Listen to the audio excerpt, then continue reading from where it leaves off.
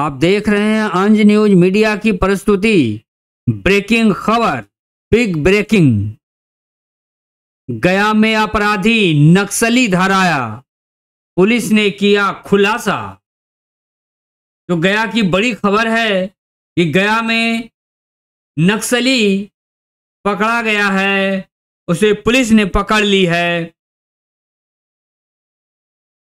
गया का सर दर्द बना था वह नक्सली, जिसकी आज गिरफ्तारी हुई है गुप्त सूचना के आधार पर उसकी गिरफ्तारी हुई है।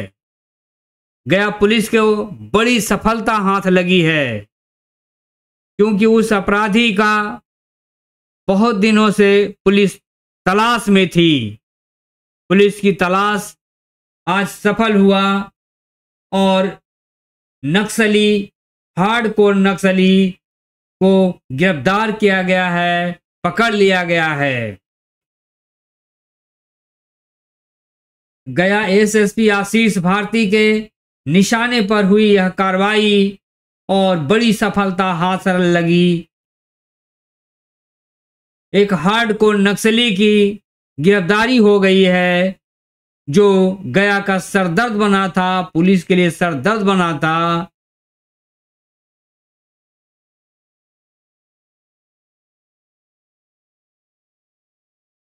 तो आइए आगे बढ़ते हैं विस्तार से खबरों की तरफ़ और देखते हैं पुलिस का खुलासा कि आखिर पुलिस किस तरह से उस नक्सली का खुलासा कर रही है। तो आइए आपको सुनाते हैं पुलिस का खुलासा।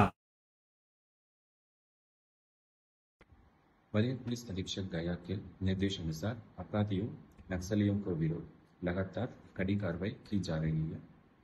इसी क्रम में दिनांक 18 सात चौबीस को थानाध्यक्ष रोशनगंज थाना को सूचना मिली कि कई कांडों में वांछित कुख्यात नक्सली विनय कुमार उर्फ़ विनय प्रसाद अपने घर, ग्राम कुबड़ी आया हुआ है।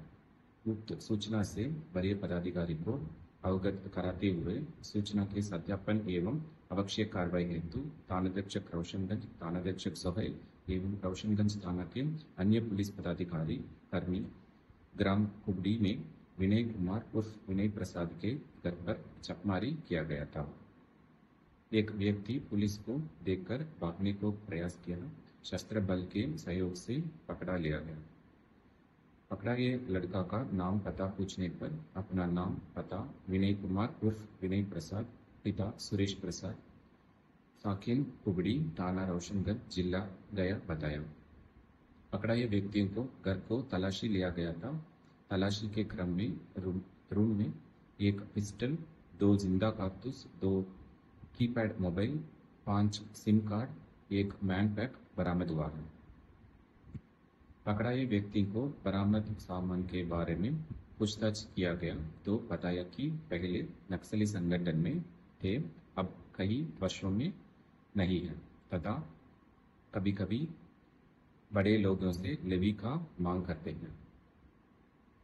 गिरफ़्तार कर रोशनगंज थाना लाया गया है।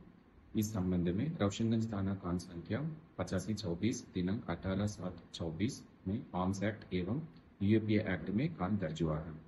उल्लेखनीय की दिनांक पंद्रह सात चौबीस को वादी के द्वारा एक लिखित आवेदन आवेदन दिया गया है कि इनके मोबाइल नंबर पर कॉल करके इनसे लेवी की मांग की गई है, एवं नहीं देने पर जान से मारने की धमकी दी गई है।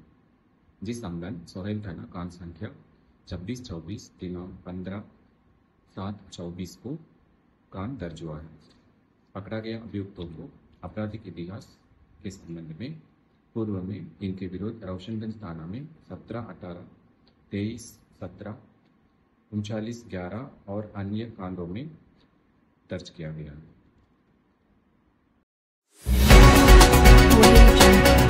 तो अभी आप देख रहे थे गया पुलिस का खुलासा कि किस तरह से नक्सली को गया पुलिस से पकड़ ली है धर दबोची है। इसी के साथ धन्यवाद।